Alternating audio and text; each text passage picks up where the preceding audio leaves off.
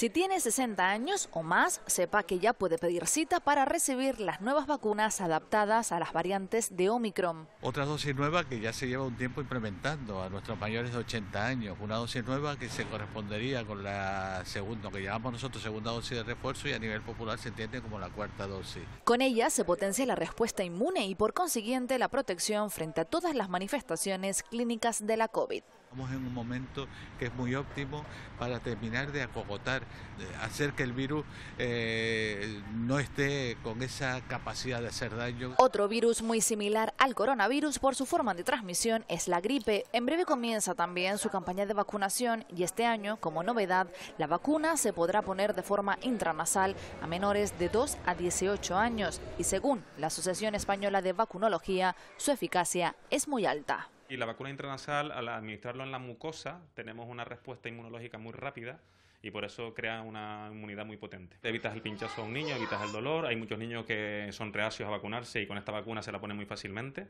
Y efectivamente no está financiada, tendría que abonarla a los padres. Solo podrá ser comprada con receta y costará 37 euros porque la seguridad social no la cubre.